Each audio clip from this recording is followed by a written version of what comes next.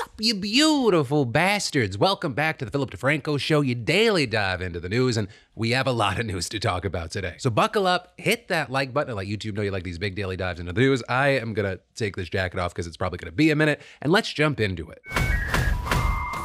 So the first thing that we're going to talk about today, it was a heavily requested story over on the text line, and that is that Chappell Roan has found herself in a big, big controversy, and her comments have been dividing the internet. Right? You know, we've talked about her meteoric rise to superstardom this year, and even before that, she's made it clear that she finds some aspects of all of this to be overwhelming. But among other things, she's already had to deal with stalkers and things like that. But on TikTok yesterday, she really called out fans posting videos saying, I need you to answer questions. Just answer my questions for a second. If you saw a random woman on the street, would you yell at her from the car window? Would you harass her in public? Would you go up to a random lady and say, Can I get a photo with you? And she's like, No, what the f-? And then you get mad at this random lady? Um, would you be offended if she says no to your time because she has her own time? Would you would you stalk her family? I'm a random bitch. You're a random bitch. Right. And also asking if you would dissect a random person's life online and then bully them or assume things about them. They're then following that up with another video saying she doesn't care if like there's this notion that harassment or stalking just comes with fame. That does not make it okay. That doesn't make it normal. I don't it doesn't mean I want it. Doesn't mean that I like it. I don't want whatever the f- you think you're supposed to be entitled to whenever you see a celebrity. I don't give a f- if you think it's selfish of me to say no for a photo or for your time or to for a hug. That's not normal. That's weird. With Chappell then adding that she finds it weird how people feel like they know her just because they listen to her music or they've seen her online, and closing by saying, I'm allowed to say no to creepy behavior. Okay. And that, you know, it's really split a lot of people. Some fully on her side, writing things like, I think celebrities should clap back more often, actually. It's become weirdly normalized for fans to think they're entitled to every detail of their faves' personal lives or are owed the privilege to dictate their lives purely because they support their career. It's fucked. And there is something so wonderful about newer pop stars rising and actually calling out the heinous behavior that has been tolerated for decades. Setting boundaries is okay. But for others, it really rubbed them the wrong way, with people saying things like, oh Jesus, she is not cut out to be famous. Goodbye, Chappell. And she's acting like she got battery acid splashed on her in public because a teenage girl asked to take a selfie with her. But then others, you know, they're kind of torn, right? Saying that harassment is not okay, obviously, but at the same time, she just isn't a random person anymore. And people saying things like, she's right, she has every right to say no, but asking for a picture or a hug respectfully isn't creepy behavior. As well as she's totally not obligated to do anything, but putting asking for a photo and like stalking someone on the same level is not serving. Right? Claiming that, of course, celebrities can decline photo requests or set boundaries, but also if you can't be grateful for the support fans want to give you, choose a different career. Right? So clearly that has spawned a massive debate. And this also notably coming as she was already making headlines this week for discussing fame and how it impacts her. Right? Because she was just interviewed by Bowen Yang for Interview Magazine, and of her newfound success, she actually said she does not even care about the charts because they are fleeting and everyone who's on the charts leaves them at some point. But they're also frequently talking about the specific pressures that come with being a queer artist, explaining it's been really emotional because I'm not just singing pop music, it's automatically political because I'm gay. Right? So clearly there's a lot of talk here. There's a lot to balance out. I mean, if you're familiar with her or you're looking into it, she's already said that she wants to pump the brakes on her fame, with a big part of it being that it's just happening too hard, too fast, which is also why you have some people saying it's hard to put themselves in her shoes, thinking that it must be insane to have such a quiet music career for so long and then just blow up seemingly overnight, saying it must be impossible to process. You know, with all this, I'm interested, which camp do you think that you land in here? And then, okay, so day one of the DNC, it's in the books and it was a productive one. Well, no, I wasn't able to convince the delegates to make me supreme leader of Nebraska yet. I did, among other things, sit down with Pennsylvania Governor Josh Shapiro. And while we talked about a number of political things, the, the conversation started with a question my buddy Ben in the group chat asked me to ask him. You know, the most important kind of questions. Eagles or Steelers, Eagles, Phillies or Pirates, Phillies, Sheetz or Wawa, Wawa, and Flyers or Penguins. Flyers. Thank you for ruining my political career right there. You cannot bullshit your way through sports. You just can't. And so Everything else. I will say, like, I will go to a Steelers game and root for the Steelers if it has nothing to do with the Eagles. I enjoy that and I celebrate that they've got way more rings than the Eagles do. They're great franchises, but you got to be true to your sports. I grew up a Philly sports fan and I'm not going to give that up. I respect that as a as a consistently sad Jets fan. Uh, Oh, you you're know, one of those. yeah, yeah. It's it's like you you're born into it, and then you just you kind of have hope for some reason, even though you're never given anything. And you're probably conflicted on Aaron Rodgers. Like you want him to play well, but you also know he's like a little bit of a nutcase now, right? I mean, your words, yeah. Yeah. No, I agree. No, I I agree. I was last last year. I was like, you know what? I'm gonna have a little amnesia. I don't know. I don't know anything this guy's ever said. yeah. Yeah. But, you know, with that out of the way, I wanted to have a real conversation about real things because, you know, he's been in the news for a number of reasons lately. He's the governor of arguably one of the most important swing states going into this election. He's also one of the most popular and prominent governors in America. And while locally he's known as a guy who has manned the ship and you see things like violent crime plummeted, he was recently also getting a lot of national attention because he was on Kamala Harris's short list. Though, of course, ultimately Harris picked Tim Walz. And since then, that's something that Donald Trump and Republicans have tried to use to sow division. With Trump and the like trying to push this narrative that the only reason he's not the VP pick is because he's Jewish. They turned him down because he's Jewish. That's why they turned him down. And I'll tell you this any Jewish person that votes for her or a Democrat has to go out and have their head examined. Right, so when I sat down with Shapiro yesterday, I asked him about those comments. When you hear stuff like that, what what is your what's your take?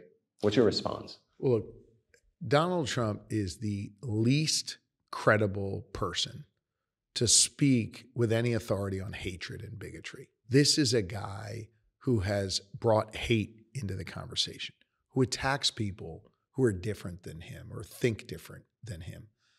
I mean, you really want to get the heart of it. This is a guy who, in the wake of Charlottesville, when those folks were marching with those tiki torches and said, Jews will not replace us, Donald Trump said there were good people on both sides. That's what he said. And he continues to peddle anti Semitic tropes all the time. So he is far from a word of authority on this. Let me be very, very clear. Um, anti Semitism played absolutely no role in the dialogue I had with the vice president. She was very clear about what she was looking for in a vice president. I was clear about what I'd be looking for in a vice president. And I think she made the exact right pick in picking Tim Walz to fulfill that role as she laid it out. There is anti Semitism out there. And there is anti Semitism in this country. And there is some anti Semitism within the Democratic Party and the Republican Party. And I think it is critically important that leaders speak and act with moral clarity. And Donald Trump is bankrupt when it comes to moral clarity and do their part to speak out against hate in whatever form anti Semitism, Islamophobia, racism, you name it. We have to speak out against it and condemn it, not encourage it the way Trump does. But then also, beyond that, I talked to the governor about the difference that we're seeing in polls, right? Because not only is he one of the most popular governors in America in a very unique state, but generally what we've seen in polling is a drastic difference between the national polls for the presidential election and the more statewide races. And so I just asked him, like, in his eyes, what is the secret sauce, right? What's this thing that's seemingly allowing you to connect to this, this part of the voter base that we're not seeing at a, a national stage for others? I really pride myself on getting out of the office in the Capitol and traveling around the state as much as I can. I still do my work as governor on the road, but when I'm in a community listening to people, it allows me to be a more effective governor for them as opposed to forcing them to come to Harrisburg, come to the Capitol and meet with me. If you really listen to people, they all basically want the same four things, right? With some exceptions, but they want a really good school for their kids and grandkids. They want safe communities. They want economic opportunity, you know, and a fair shot. Mm-hmm. And they want their rights and freedoms protected. And that's true if you're a Democrat, Republican, rural voter, urban voter. And so, what I try and do is come up with common sense solutions largely in those four areas that can speak to folks in different communities. And I don't get upset if they disagree with me in one community on one issue because I think in their heart, mm, I think my election results bear this out. And as you said, the kind of polling in terms of my popularity bear it out. They just want to know someone's fighting for them and those basic common sense Pennsylvania principles that I think are really adaptable across the country. And so that is at the end of the day what people want the most. Not like some purity that you're going to be with them 100% of the time.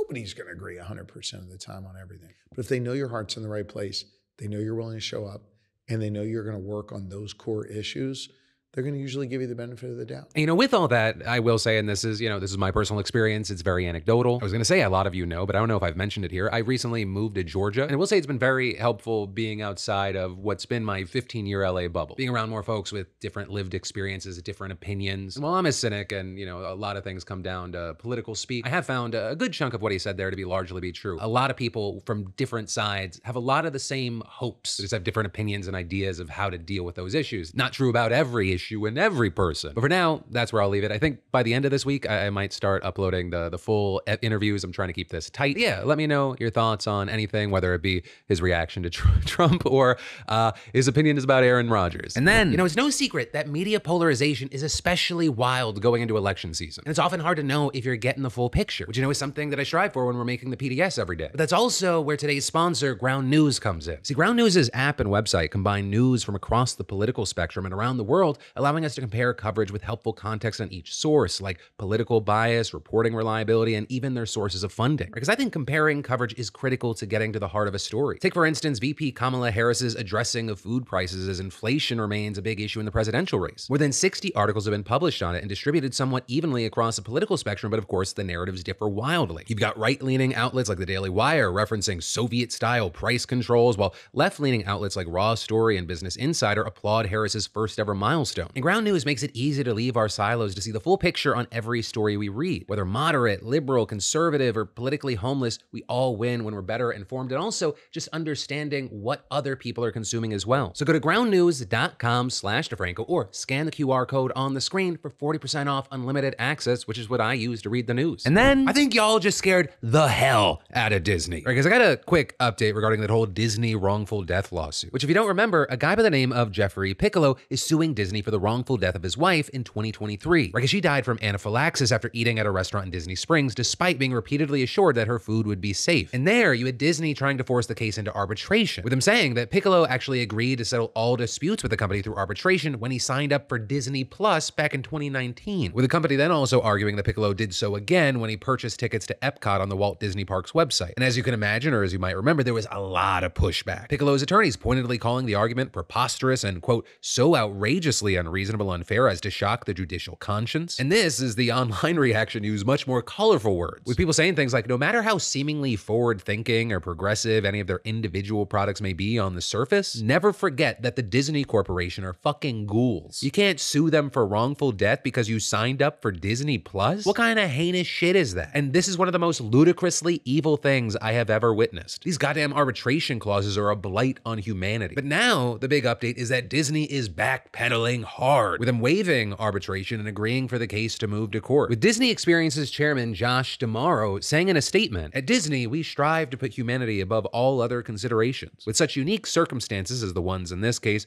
we believe the situation warrants a sensitive approach to expedite a resolution for the family who have experienced such a painful loss. But with that, I am not going to give Disney a pat on the back and a thumbs up here. Instead, I'd rather thank all of you who got angry and vocalized it when you heard this news. Because you know the truth. Disney has shown itself to be just like any other corporation and they care about money over all things. And everyone who vocalized their dissatisfaction or their rage, you made them clutch their, their coin purse and back away. But for now, we're gonna have to wait to see what happens with this case. And then we need to talk about Chrystul Kizer because she is a woman who's in the news right now because she is going to prison for killing a man who sex trafficked her. Right? She's from Milwaukee, Wisconsin, and when she was 16, she met 33-year-old Randy Volar, a man who sexually abused her numerous times and on occasion filmed it. And according to Chrystul, Randy also trafficked her to other men as well, plying her with drugs and driving her to a hotel to meet them and then taking their money. And with that, she then said he would give her expensive gifts and take her shopping in exchange. But in 2018, when Chrystul was 17, she shot and killed Randy before burning down his house and fleeing in his BMW. According to court documents, she told detectives that she was tired of Randy touching her. And so she faced a slew of charges, including first degree intentional homicide, arson, and car theft,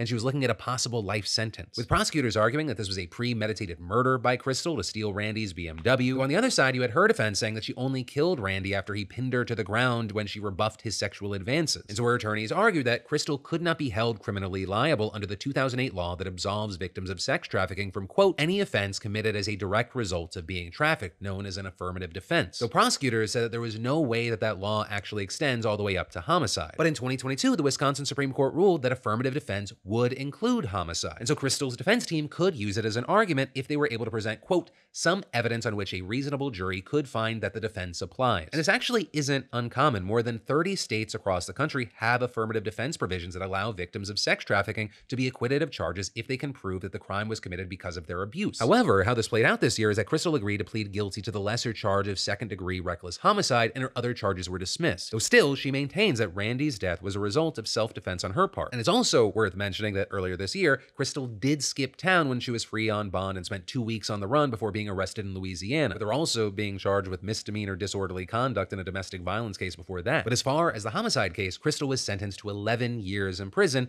and five years extended supervision by Judge David Wilk yesterday. And while delivering this sentence, Wilk told Chrystul that he was, quote, well aware of the nature of the relationship between her and Randy, but added, You are not permitted to be the instrument of his reckoning. To hold otherwise is to endorse a descent into lawlessness and chaos. And with that, saying she abandoned the affirmative defense that the Supreme Court allowed her when she took the plea deal, saying you entered a guilty plea. That allows you to argue your circumstances warrant mercy, but not that they warrant absolution. Now, with that, Chrystul won't be serving the full 11 years in prison. She was given a credit of 570 days for time served, and so she should be released in 2033 when she's in her mid 30s. But notably, with this, many advocates were disappointed with this sentencing, including Claudine O'Leary, a human trafficking survivor and founder of a consultancy group for victims of human trafficking, who said that Chrystul's sentencing is evidence that courts don't embrace trauma informed justice. Telling the Washington Post, too often these courts are looking for the perfect victim, and Chrystul did not fit the image of what they thought a perfect victim would look like. And adding to the New York Times, there are men in southeastern Wisconsin walking around free today who paid for the ability to sexually abuse Chrystul when she was a minor and they never faced accountability. This is the kind of case that young people will remember. They'll say, they didn't believe Chrystul, why should they believe me? So, of course, with this, I'd really love to know your thoughts and where you stand on this. And then, in big swing state, battleground state news, we got to talk about Georgia. Because while in the past, Georgia was the swing state at the heart of Trump's efforts to overturn the 2020 election, today we got to talk about the Georgia State Election Board, which, if you don't know, is the unelected body that's meant to make rules and publish guidance to maintain order and integrity in elections without thinking about the political impact. With that, its election denying majority has just passed a rule that could delay the certification of voting results. And that is just the latest thing that's got people worried that the board's far right takeover could swing the 2024 election. But to start with the rule that was just passed, it prohibits county election boards from certifying results if there is a discrepancy between the number of ballots distributed and the number of voters until the board investigates the discrepancy. And with that, it authorizes any member on any county election board to, quote, examine all election related documentation created during the conduct of elections prior to certification of results. Right. And a key thing there is it's not unusual for there to be small discrepancies between the total numbers of votes cast and the total number of voters. Right. And these differences usually aren't large enough to actually affect an election outcome. And in places like Georgia's Cobb County, election officials say any discrepancies are always explained in a report submitted to the Secretary of State's office after an election. And finally, in general, according to groups like Voting Rights Lab, Georgia already has rigorous processes in place to verify, count, and review every ballot and audit those results prior to certification. So basically, this new rule has got people worried that just one rogue election official, they're going to just one, have the power to slow down the electoral process. They'll have even more power to slow down the certification process, create uncertainty around this election, and just throw the state's entire vote count into chaos. And so with that, you had lawyers from the ACLU and other rights groups sending a letter to the board saying it provides no safeguards against requests unscrupulously designed to delay or obstruct the lawful certification process. And adding it would empower individual county board members to make unreasonable and vexatious demands for any election related documents, even ones that have no bearing on certification without providing any basis for their requests. And in fact, we already know at least one person likely to take advantage, namely Julie Adams, a Republican on the Fulton County Election Board who refused to certify the May primary election. And she is reportedly a member of an election denial activist network founded by someone who aided Trump's efforts to overturn the election in Georgia and elsewhere. But of course, the concern is that's exactly what members of the state election board want. But I mean, the proposal was submitted by Republican Salleigh Grubbs, and she told CNN she believes her county's 2020 presidential election results were inaccurate without providing any evidence to back up her claims. And in fact, all three Republicans who voted for the rule have expressed beliefs in widespread election fraud that even conservative groups have said doesn't exist. And notably here, two of them were appointed within the last year. Because back in May, Republicans finished their takeover of the board with the appointment of right-wing personality Janelle King, with the chair of the Georgia Republican Party even saying at the time that the new appointments would help Trump win in November. And since then, the board has approved various rules backed by right-wing election activists who claim that the 2020 election was stolen from Trump. Right? I mean, earlier this month, for example, it adopted a new rule giving local boards the power to conduct a quote reasonable inquiry into elections before certifying. With a big important thing there is they did that without defining the term reasonable inquiry. And in fact, fact, Donald Trump himself has taken a lot of interest in the Georgia State Election Board, with him in multiple social media posts commenting on the board's meetings, including sharing the raw footage of a debate among board members at a public meeting. And then at a rally, he actually outright praised his supporters on the board and called them out by name. I don't know if you've heard, but the Georgia State Election Board is in a very positive way. This is a very positive thing, Marjorie. They're on fire. They're doing a great job. Three members Janice Johnston,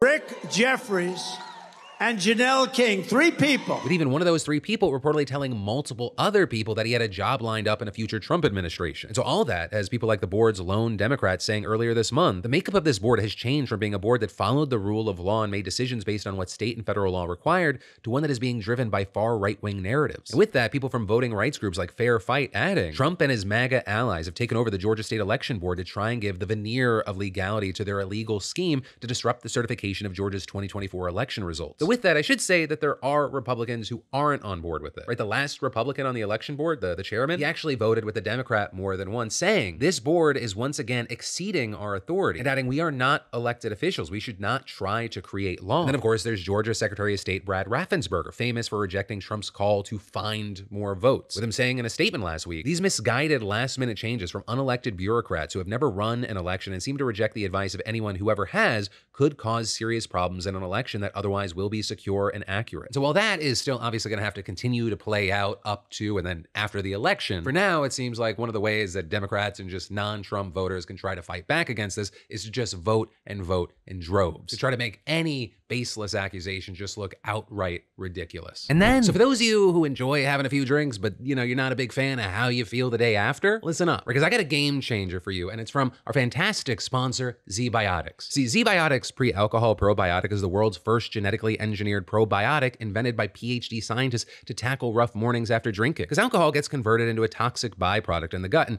that byproduct is a big reason why you feel so rough the next morning. But pre-alcohol produces an enzyme to break this byproduct down. I mean, it's designed to work like your liver, but in your gut where you need it most. So just drink this probiotic before drinking alcohol, drink responsibly, and get a good night's sleep to feel your best tomorrow. Especially because, you know, summer is full of activities that pair nicely with a refreshing drink. So stock up on pre-alcohol now and help yourself out. This little bottle right here has helped me be able to, well, be me after a night out. You just go to zbiotics.com slash DeFranco to get 15% off your first order when you use code DeFranco at checkout. And fantastically, pre-alcohol is backed by a 100% money-back guarantee. So if you're unsatisfied for any reason, they will refund your money, no questions asked. That's zbiotics.com slash DeFranco and use code DeFranco for 15% off your order. And then we've got to talk about this potentially game-changing presidential election news centered in Arizona, right? Because the Republican National Committee is now asking the U.S. Supreme Court to block about 40,000 registered voters in Arizona from casting a ballot for president in November. Well, that might not seem like a huge number of American voters, considering that we're talking about Arizona. This is a massive deal. This is a key battleground state where the polling shows it to be a toss-up, and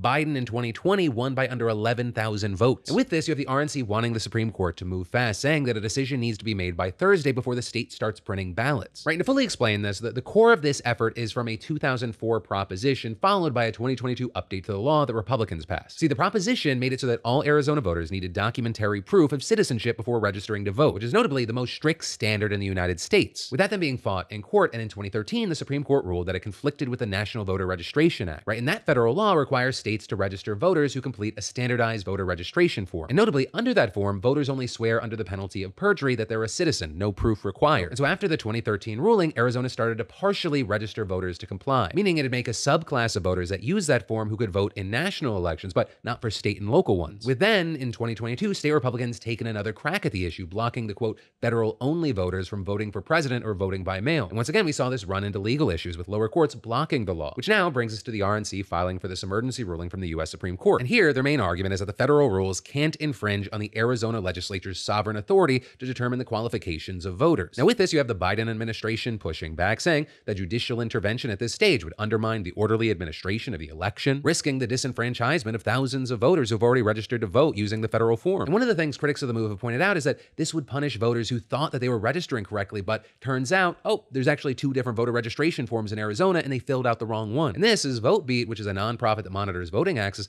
found that if successful, this would disproportionately impact college students and those living in shelters, while others have pointed out that it hurts tribal voters. And in Arizona specifically, there are a lot. And while some may think, you know, hey, the Supreme Court already ruled on fundamentally the same issue over a decade ago, as we have seen in recent years, the Supreme Court has no issue undoing past precedent. And so this is definitely something we're going to keep an eye on and likely talk about on Thursday. But in the meantime, one, what are your thoughts on this? And two, whether you're in Arizona or really any other state, you should check out vote.org right now. If you think you're registered, make sure you're registered. You never know if something's up. And also, if you've never registered, register to vote. whether it's national, it's statewide, it's super local, you should have a say. But then, for our final story today, because it is a gnarly one, we have a special guest, Philip DeFranco from Saturday, because he has possibly the most important question of your life for you. What happens to us after we die? Well, while one, I have no idea about the metaphysical part, do know two, that a corpse often means one thing for a lot of people, and that is cash money. Right? And that's because in addition to just how much a funeral service can cost, there is an entire industry that revolves around obtaining and selling human corpses and body parts. And the issue that we need to talk about right now is that it is an industry that is filled with horror stories like when the body parts of 12 people were thrown out in Arizona. And outside of vague laws designed to protect burials, the laws governing the buying and selling of human remains are almost non non-existent. Now that said, obviously with this being the US and we're very much a patchwork in many ways, you know, we have a million exceptions across each state and county, but, you know, generally speaking, only eight states seem to explicitly ban the sale of human remains as of 2023. And one of the big reasons why is that a lot of people just don't realize what's going on because it's not widely known what the different forms of donation means. Or you can donate organs and other tissues specifically for people in need of them, or you can donate your body to science. And that second category, that can be largely broken down into two broad categories, universities and body brokers, with the ethical standards between those two being generally night and day. You know, universities, they rarely go out of their way to solicit for bodies and instead have forms that would-be donors can fill out. Those bodies are then used for a wide variety of scientific learning and study, ranging from anatomy classes to learning about rare conditions to how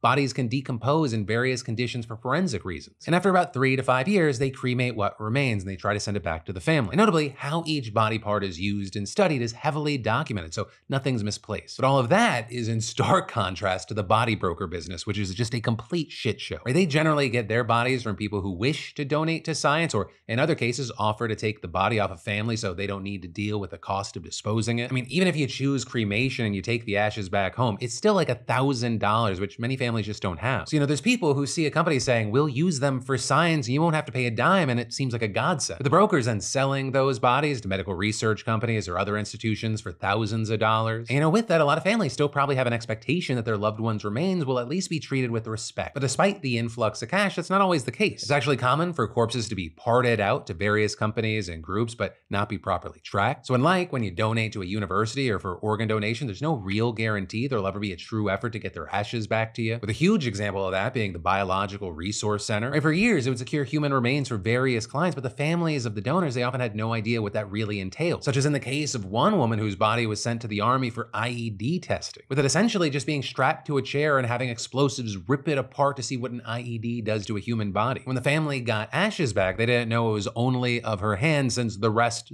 you know, no longer existed. Also, that same company shocked the world when investigators found a cadaver that could only be described as Frankenstein-esque. You know, it had multiple body parts from multiple people sewn together for seemingly no real reason. Well, that was like a decade ago. Things haven't gotten much better. In 2020, Arizona was shocked when multiple human parts were found at Prescott National Park, with it being clear that it was from a body broker because of the small metal tags attached to the parts. And in total, the remains of at least 12 people were strewn about the area because Walter Harold Mitchell III's body broker business was going under. And so apparently, instead of incurring the cost of returning the bodies to their loved ones, he just dumped them. I mean, the lack of oversight, it causes all kinds of issues beyond ethical ones. These cases actually highlight how little can be done in these cases. Right, for the Biological Resource Center, for example, there was an FBI raid back in 2014 after they were accused of selling the donated corpses for a profit rather than trying to get them shipped out for scientific research. And to be clear, these companies are allowed to make a profit, but at least they need to pretend that the bodies are ultimately used for science. But that raid, it seemingly never resulted in criminal actions. Instead, there was just a $58 million lawsuit, with the facility also then being shut down.